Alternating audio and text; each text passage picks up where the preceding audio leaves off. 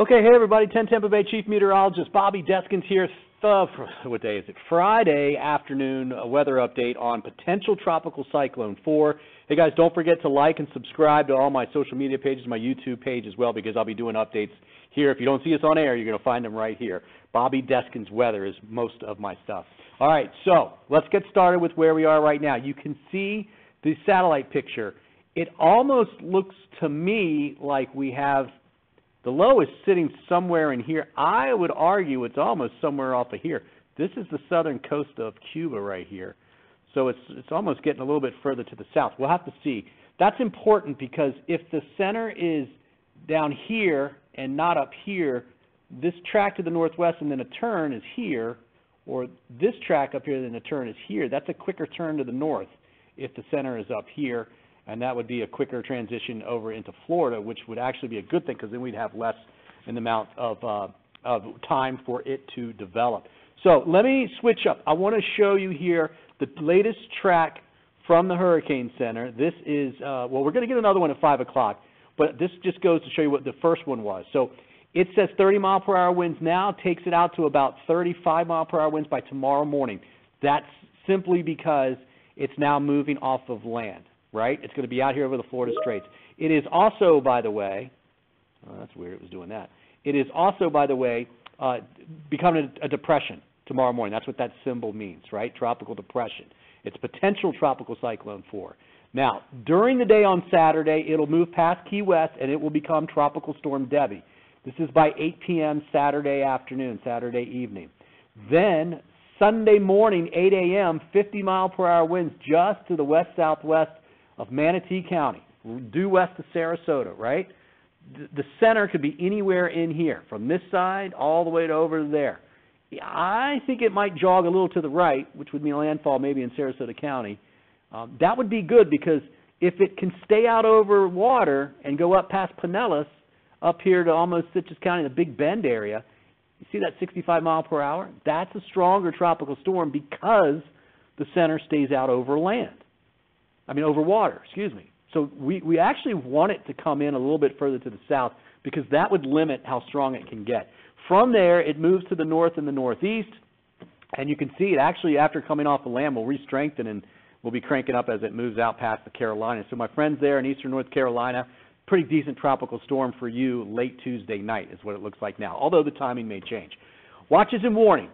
The Keys, all the way up, have a tropical storm watch. The blue area that's basically Marco Island and Naples area. That's under a tropical storm warning. Then you get from Naples northward, for, including Fort Myers, all the way up through the Hernando County, Pasco County border. That is a tropical storm watch. It includes Polk County, Hardee, DeSoto County. The yellow means we could see tropical storm force winds of 40 miles per hour or higher in this area. The blue means we expect it. Okay? That's, that's what that means. And that's the reason why we got a potential tropical cyclone. They, they, they needed to name something so that they could get the watches and warnings. And there's, it's not organized enough to name it a, a depression or a storm, so they give it this PTC designation. Now, here are the latest forecast models. See that turn? You see all of this right in here? All of that turn? Out here would be a stronger system. If you limit, here's Cuba down here, if you can limit the time that it's over water and makes land, you're going to limit the, the the amount of time that it has to um, strengthen. And so that's why I think currently, let me see if I can clear this out. Currently, the Hurricane Center's forecast is somewhere out here. Let me try this again. It's not going to draw it. It's just to the left of that line that's going through Tampa right now. Okay? So now let's look at our local model. Very broad area of low pressure, and I got to say, this is almost suggesting that that center is running along the southern part of Cuba, but it doesn't really develop it much.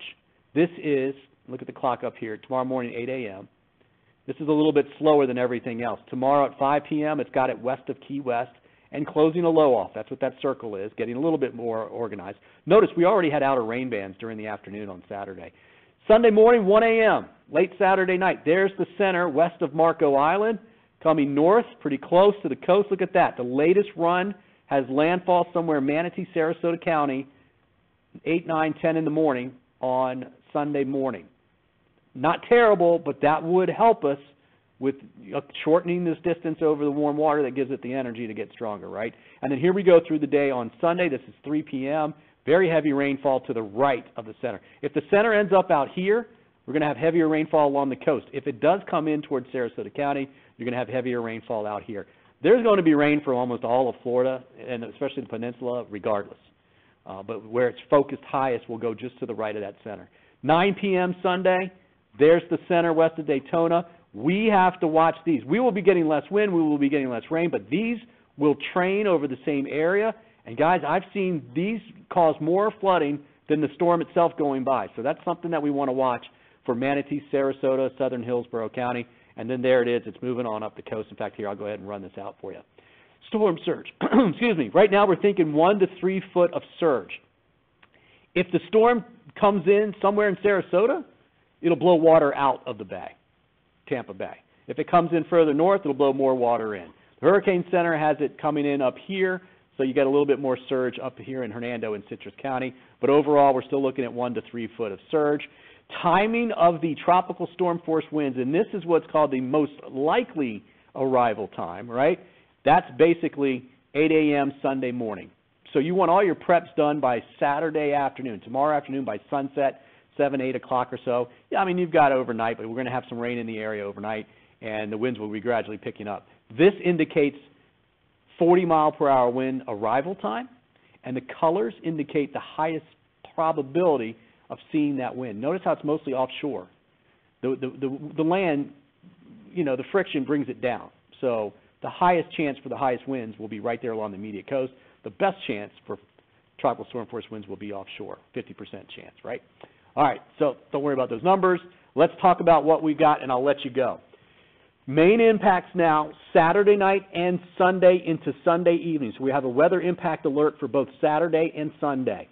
Rain, 4 to 8 inches, especially to the east of wherever that center goes. Okay? Uh, so that's what we're going to be talking about for that. Now, wind impacts, 55 to 65 mile per hour winds. Now look, that's the storm itself. I think we'll generally be in the 40s and 50s along the immediate coast, but this could change. And now look, that's a tropical storm. But talk to anybody that's lived in hurricane country for any period of time, and they will tell you, I oh, remember that one tropical storm that was worse than a hurricane. So don't think because it's just a tropical storm we don't have to worry too much. I'm not too worried, but we do need to take it seriously. Let's just put it that way, right? Respect it. It's not going to be terrible, but put it this way 58 mile per hour winds is when we get a severe thunderstorm warning. So we get those once or twice a week here in the summertime. All right, forecast to be Tropical Storm Debby. That should happen during the day on Saturday. And still uncertainty on the track and the strength, so please keep checking back. Again, I want to thank everybody for uh, checking in with me throughout the time. It's been great hearing all your comments. Uh, we got this. We're fine, but it is something to pay attention to. Of course, don't forget all of our socials. We'll be on air tonight at 5 o'clock, uh, 10 Tampa Bay, and of course at 11, and then we're on air our regular times through the day on Saturday. Saturday night, especially after midnight, the weather starts going downhill. Worst will be Sunday morning early through about 1 to 2 o'clock Sunday afternoon, and then things will start to get better. All right, guys, don't forget to like and subscribe because I will keep updating these videos.